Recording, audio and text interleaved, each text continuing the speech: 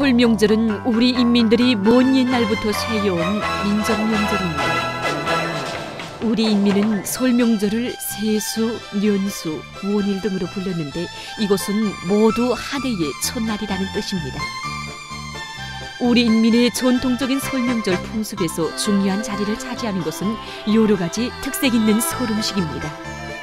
설명절 날에 즐겨 만들어 먹은 음식들로서는 찰떡, 설기떡, 절편과 같은 떡과 떡국, 여러 가지 지중류, 수종과 식혜, 고기구이 등을 들 수 있습니다.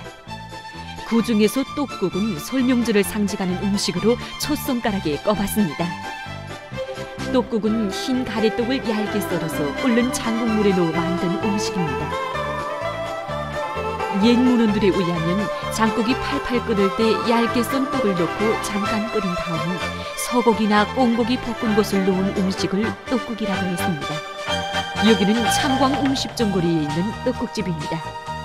기쁨 넘친 설명절에 떡국을 비롯한 민족 음식들을 맛보며 유쾌한 시간을 보내려고 찾아온 손님들에 의해 여기 떡국집은 유달리 흥성이고 있습니다.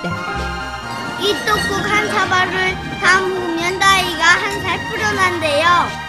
예, 그래서 나이 한 살 더 먹는다는 뜻에서 떡국을 두고 솜새병이라고도 한 것입니다. 떡국에 그 맑고 맑은 국물과 조화되는 희린 떡살. 보기만 해도 정교하고 단박한 우리 인민의 기여와 구미가 절로 느껴집니다. 음식에서도 그 민족의 특성이 살아난다고 생각합니다. 그러니까 떡국을 만들면서도 깨끗하고 순결하고 정갈하게 음식을 만들어서 먹었다고 그런 마음에서 만들어서 먹었다고 난 생각합니다.